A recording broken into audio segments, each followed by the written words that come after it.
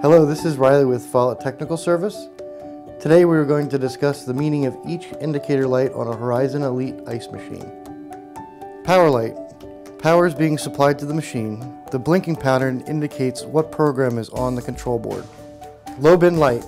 The shuttle sensor or the ice manager is calling for ice. Making ice light.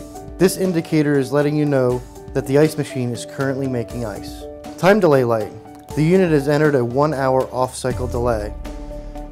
This will happen every time the bin is full or if there is another error present. Low water light. During operation when the water level falls below the normal low sensor for more than 10 seconds, the low water light will illuminate. Maintenance clean light. The unit is in maintenance clean mode.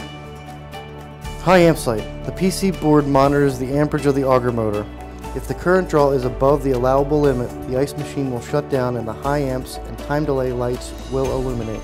The high amp light indicates that the circuit board is not detecting any current draw on the gear motor. High pressure light. Should the refrigeration pressure rise above 425 psi, the ice machine will shut down on high pressure and time delay. Drain clog light when the ice machine is not running Water is present in the chassis and has reached the level of the water sensors. Drain clog light when the ice machine is running. During the purge on startup, if the water does not drop below the water probe in the reservoir within 20 seconds, the drain clog indicator will illuminate and the machine will continue to run. Cleaner full light. The cleaner has reached the high level probes and will stay illuminated through the cleaning process. Blinking low water light.